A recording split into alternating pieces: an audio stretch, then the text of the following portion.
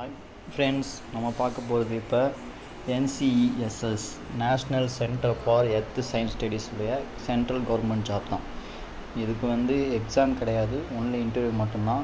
Salary முப்பதாயிரம். Last date வந்து ஏழு ஏழு ரெண்டாயிரத்தி இருபத்தொன்று இது வரைக்கும் நீங்கள் என் சேனலை சப்ஸ்கிரைப் பண்ணாமல் இருந்தீங்கன்னா ப்ளீஸ் சப்ஸ்கிரைப் பண்ணுங்கள் பெல் பட்டனை கிளிக் பண்ணுங்கள் உங்களுக்கு நான் ஒவ்வொரு நாளும் வீடியோஸ் வந்து ரிலீஸ் பண்ணிக்கிட்டே இருப்பேன் கவர்மெண்ட் ஜாப் பற்றி வாங்க ஃப்ரெண்ட்ஸ் வீடியோக்குள்ளே போகலாம் national centre for earth science studies இதில் தான் இப்போ நமக்கு ஜாப் ஆஃபர்ஸ் கொடுத்துருக்காங்க. அதுவும் சென்ட்ரல் கவர்மெண்ட் ஜாபு இது வந்து கான்ட்ராக்ட் பேஸ் தான். இப்போ வந்து இந்த கொரோனா காலத்தினால எல்லாமே வந்து கான்ட்ராக்ட் பேஸில் தான் வந்து ஃபஸ்ட்டு ஆள் எடுக்கிறாங்க. இப்போ எல்லாருமே வந்து எக்ஸாம் எழுதி தான் வந்து போஸ்டிங் கொடுப்பாங்க. இப்போ வந்து எக்ஸாம் எதுவும் கண்டக்ட் பண்ண முடியாத சூழ்நிலை இருக்கிறதுனால எல்லாமே கான்ட்ராக்ட் பேஸில் இருக்குது இப்போ நம்ம ஃபஸ்ட்டு பார்க்க போகிற ஜாப் என்னென்னா லெபார்ட்டரி அசிஸ்டன்ட் இதுக்கு வந்து first class bachelor degree in geology physics chemistry environmental science three years diploma in civil engineering இதில் ஏதாவது ஒரு டிகிரி முடிச்சிருக்கணும் டெசிரபிள்ன்றது experience experience R and D research and டெவலப்மெண்ட்டில் உங்களுக்கு எக்ஸ்பீரியன்ஸ் இருந்திருக்கும். அடுத்து நம்ம பார்க்க போகிறது ரெண்டாவது என்னன்னா டெக்னீஷியன் இது வந்து three years diploma in civil engineering or instrumentation or electronics இதில் வந்து டிப்ளமோ முடிச்சிருக்கணும். மூணாவது என்னன்னா project assistant graduate in any discipline ஏதாவது ஒரு டிகிரி முடிச்சிருக்கணும்னு சொல்லியிருக்காங்க. எக்ஸ்பீரியன்ஸ் வந்து one year work experience with working knowledge in computer கம்ப்யூட்டரில் வந்து ஒர்க் பண்ண நாலேஜ் இருக்கணும்னு சொல்லியிருக்காங்க. அது ஒன் இயராக ஒன் இயர் எக்ஸ்பீரியன்ஸ் இருக்குன்னு சொல்லியிருக்காங்க. நாலாவதாக நம்ம என்ன பார்க்க போகிறோம்னா டெக்னிக்கல் அசிஸ்டண்ட் இது வந்து BTech BE electronics and communication or instrumentation or post graduation in electronics or graduation in library science இந்த குவாலிஃபிகேஷன் இருக்கணும். இதுக்கு என்ன எக்ஸ்பீரியன்ஸ்னால் experience in instrumentation experience in library management in a research institute or university அஞ்சாவது நம்ம பார்க்குறது என்னென்னா அஞ்சாவதாக நம்ம பார்க்குறது என்னென்னா ஃபீல்டு அசிஸ்டன்ட் ஜாப்பு இதுக்கு வந்து பேச்சுலர் இன் இன்ஜினியரிங் முடிச்சிருக்கணும். இல்லைனா டிப்ளமோ மூணு வருஷம் three years diploma in civil or survey இன்ஃபார்மியா government recognition institute அதுக்கு எக்ஸ்பீரியன்ஸ் என்னென்னு பார்த்துக்கோங்க. இந்த பிடிஎஃப்பை வந்து உங்களுக்கு வந்து டெஸ்கிரிப்ஷனில் லிங்காக கொடுத்துருக்கேன். அதை பொறுமையாக பார்த்து படித்து நீங்கள் அப்ளை பண்ணுங்கள் ஆறாவது வந்து scientific administrative assistant graduation in discipline diploma in computer application or certificate course in computer working knowledge in MS Word Excel extra இந்த குவாலிஃபிகேஷன் இருக்கணும். ஏதாவது ஒரு டிகிரி முடிச்சிருக்கணும். கம்ப்யூட்டர் அப்ளிகேஷனில் வந்து டிப்ளமோ முடிச்சிருந்தா உங்களுக்கு வந்து குவாலிஃபைடாக இருப்பீங்க. ஒன் இயர் எக்ஸ்பீரியன்ஸ் இருக்கணும்னு சொல்லியிருக்காங்க அட்மினிஸ்ட்ரேட்டிவ் அசிஸ்டண்ட்டில் அதாவது ஃபினான்ஸு இந்த மாதிரி விஷயத்தில் வந்து அக்கௌண்ட்ஸ் இந்த மாதிரி ரிலேட்டடாக நீங்கள் ஒர்க் பண்ணியிருக்கணும்னு சொல்லியிருக்காங்க. ஏழாவது நம்ம பார்க்க போகிறது வந்து project associate one first graduate post first class post graduate degree in geology geography applied geology earth science marine geology geophysics applied physics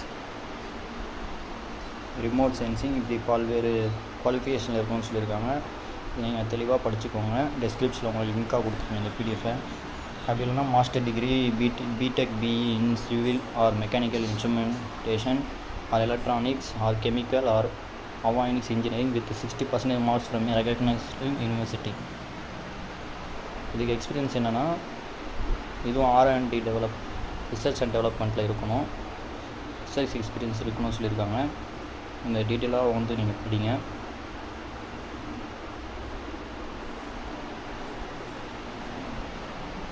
எட்டாவதாக நம்ம பார்க்கும்போது ப்ராஜெக்ட் அசோசியேட் டூ இதுவும் வந்து ப்ராஜெக்ட் அசோசியேட் ஒன் மாதிரி தான் போஸ்ட் கிராஜுவேட் டிகிரி முடிச்சிருக்கணும்.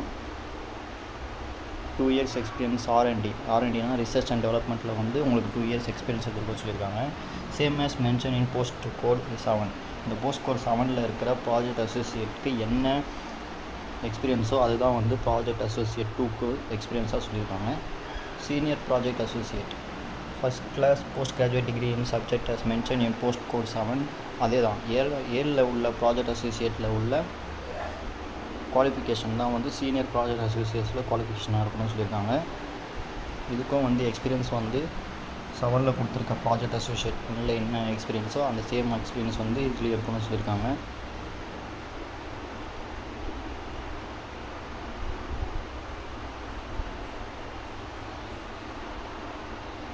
அடுத்து நம்ம பார்க்க போகிறது பத்தாவது என்னென்னா principal project associate first class post graduate degree in subject as mention in post code seven அப்போ and eight years experience in R and in the relevant field அதான் செவன்த்து எயித்து நைன்த்து டென்த்து இதில் உள்ள ஜாபில் வந்து எல்லாமே same qualification same experience தான்.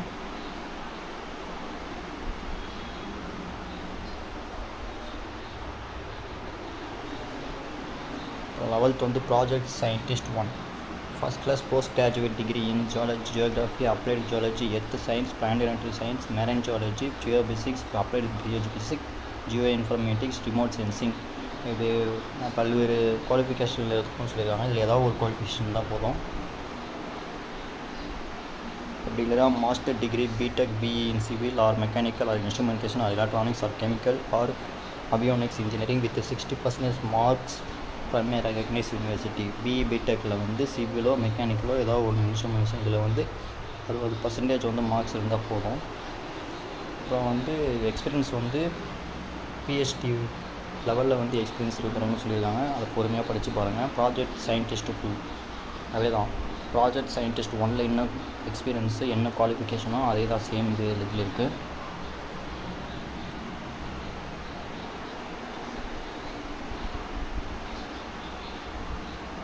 project scientist three same project scientist one and டூவில் என்ன குவாலிஃபிகேஷன் என்ன எக்ஸ்பீரியன்ஸோ அதே தான். இப்போ நம்ம பார்க்குறது என்னென்னா post code one two three இருக்கு இல்லையா நம்ம ஃபஸ்ட்டு பார்த்தோம் பாருங்கள் இதில் உள்ள post code one two three இந்த இந்த போஸ்டிங்குள்ள என்னென்ன ஏஜ் இருக்கணும் எவ்வளோ வந்து சேலரின்னு சொல்லி தெளிவாக கொடுத்துருக்காங்க. நீங்கள் அதை பொறுமையாக பாருங்கள் ஹெச்ஆர்ஏன்றது house rent allowance house rent allowance உங்களுக்கு கொடுக்குறதா சொல்லியிருக்காங்க.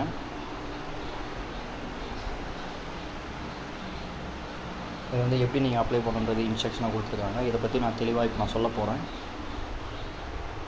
எப்படி அப்ளை பண்ணுறதுன்னு நான் சொல்ல போகிறேன் வீடியோவை ஸ்கிப் பண்ணாமல் பாருங்கள்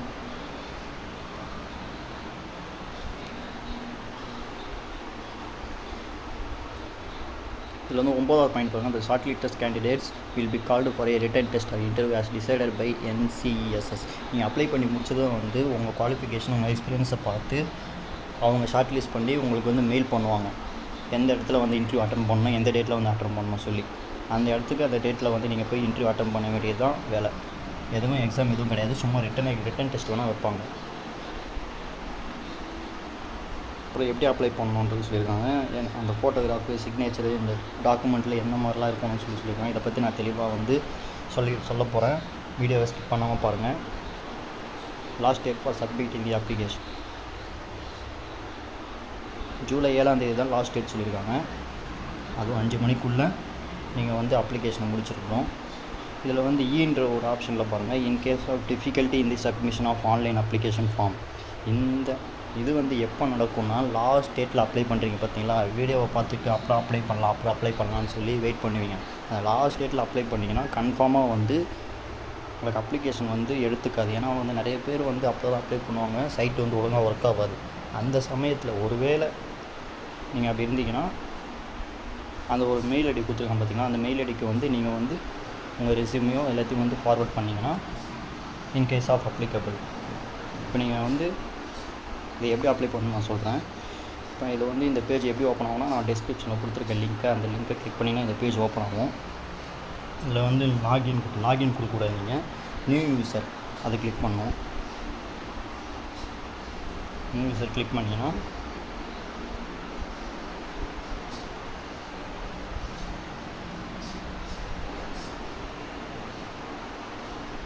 டைட்டில்ஸ் கேட்கும். டைட்டில் மிஸ்டர் மிஸ்ஸஸ் டாக்டர் அந்த மாதிரி சொல்லி கேட்கும் அவங்க கொடுத்துட்டு ஃபுல் நேம் உங்கள் நேமு உங்கள் டேட் ஆஃப் பர்த்து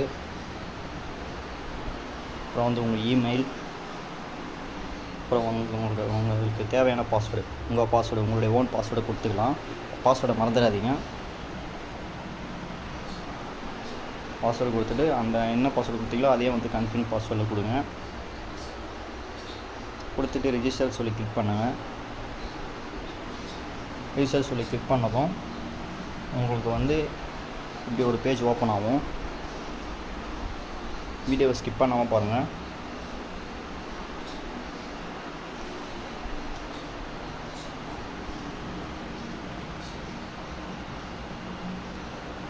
நீங்கள் ரிஜிஸ்டர் கொடுத்ததும்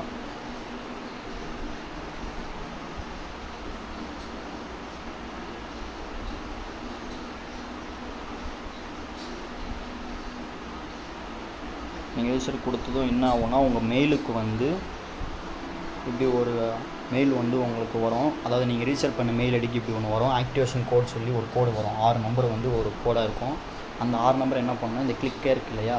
இந்த கிளிக் கேர்ன்றதை கிளிக் பண்ணிங்கன்னா இப்படி ஒரு பேஜ் ஓப்பன் ஆகும். இப்படி பேஜ் ஓப்பன் ஆனதும் கிளிக்கர்னு கொடுத்ததும் வந்து இந்த மாதிரி பேஜ் ஓப்பன் ஆகாது வேறு பேஜ் ஓப்பன் ஆகும். அது என்னென்னா அதே இமெயில் ஐடி பாஸ்வேர்டு கொடுத்துட்டு நீங்கள் வந்து ஆக்டிவேஷன் கோட் கொடுத்தீங்கன்னா ஆக்டிவேட் ஆகிடும் ஆக்டிவேட் ஆனதுக்கப்புறம் வந்து லாகின் கொடுக்கணும். அந்த லாகின் தான் வந்து இப்போ டிஸ்ப்ளே ஆனது. அந்த லாகின் கொடுத்து நீங்கள் உள்ளே போனீங்கன்னா பேசிக் டீட்டெயில்ஸ் நீங்கள் வந்து கொடுக்கணும். பேசிக் டீட்டெயில்ஸ் நான் காமிக்கலை. ஏன்னா நான் என்னோடய டீட்டெயில்ஸாக இருக்கிறதுனால நான் காமிக்கலை. கொஞ்சிக்காதீங்க ஒன்றுமே இல்லை. அது வந்து ஓபிசி கேட்டகரியாக உங்கள் நேமு உங்கள் டேட் ஆஃப் பர்த் மறுபடியும் அகைன் அதே தான் கேட்கும். அது ஒன்றும் ஒரு பெரிய விஷயம் இல்லை அது. அதுக்கப்புறம் நெக்ஸ்ட்டு கொடுத்தீங்கன்னா எடுகேஷன் குவாலிஃபிகேஷன் கேட்கும். நீங்கள் என்னென்ன குவாலிஃபிகேஷன் சொல்லி கொடுங்க. Tenth twelfth degree PG PhD இதில் வந்து என்னென்ன முடிச்சிருக்கீங்க? எந்த இயரில் முடிச்சிருக்கீங்க? அப்புறம் வந்து என்ன சப்ஜெக்ட்டு எந்த கிளாஸில் எந்த கிளாஸு ஃபஸ்ட் கிளாஸா செகண்ட் கிளாஸா உங்களுடைய மார்க்கு இதெல்லாம் கொடுத்துட்டு எக்ஸ்பீரியன்ஸ் டீட்டெயில்ஸ்குள்ளே போங்க. எக்ஸ்பீரியன்ஸ் எக்ஸ்பீரியன்ஸ் எதுவுமே இல்லைன்னா இந்த ஸ்கிப்புன்ற ஆப்ஷனை கொடுங்க. அப்படி உங்களுக்கு எக்ஸ்பீரியன்ஸ் இருந்துச்சுன்னா இதை வந்து டைப் பண்ணுவேன். இருந்ததுன்னா எக்ஸ்பீரியன்ஸை வந்து டைப் பண்ணுவேன். ஃப்ரம் டூ டெசிக்னேஷனு என்ன கம்பெனி அப்புறம் நேச்சர் ஆஃப் டியூட்டிஸ் நீங்கள் என்னமா டியூட் உங்களுக்கு என்னமா டியூட்டிலாம் கொடுத்தாங்க அந்த இடத்துல.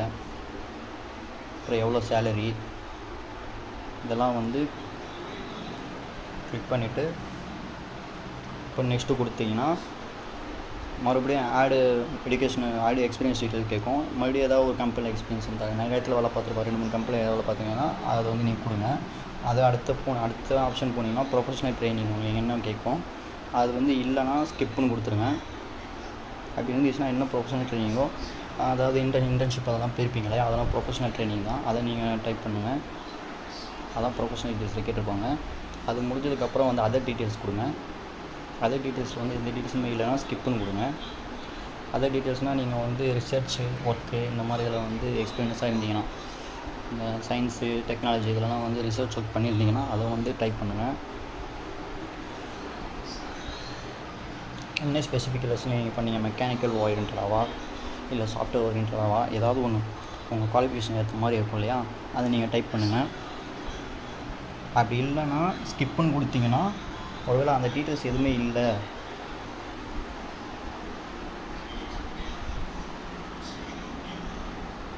ஐடிஸ் எதுவுமே நீங்கள் ஸ்கிப் கொடுக்கும்போது இந்த பேஜ் வந்து நீங்கள் கம்பல்சரி வந்து டைப் பண்ணுற மாதிரி இருக்கும். அதாவது ரெஃபரன்ஸ் டீட்டெயில்ஸ் ரெஃபரன்ஸ் டீட்டெயில்ஸில் நீங்கள் கன்ஃபார்மாக டைப் பண்ணுற மாதிரி இருக்கும். அதில் வந்து நேம் கொடுத்துருங்க. அதாவது உங்கள் ரெஃபரன்ஸ் யாரானா கொடுக்கலாம். உங்கள் ஃப்ரெண்ட்ஸ் கூட கொடுக்கலாம். பேசிக்காக வந்துட்டு எது கொடுத்தா உங்களுக்கு வந்து ஸ்ட்ராங்காக இருக்கும்னா இந்த வேலையில் ஏற்கனவே உள்ளே இருக்காங்க இல்லையா?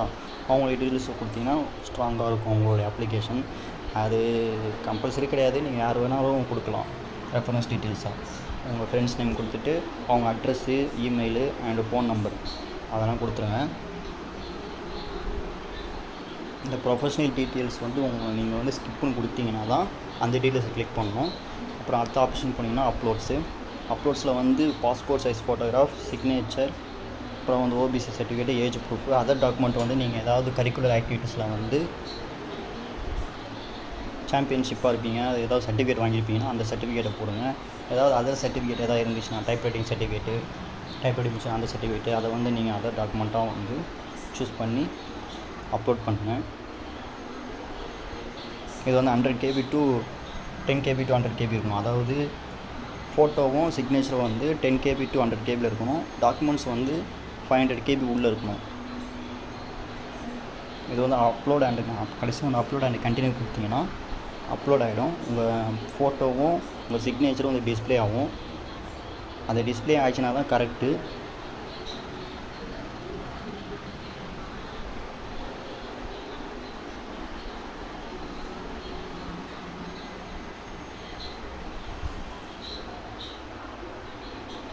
அடுத்து அது கொடுத்து முடிச்சதுக்கப்புறம் வந்து ப்ரிவியூன்னு சொல்லி கொடுங்க.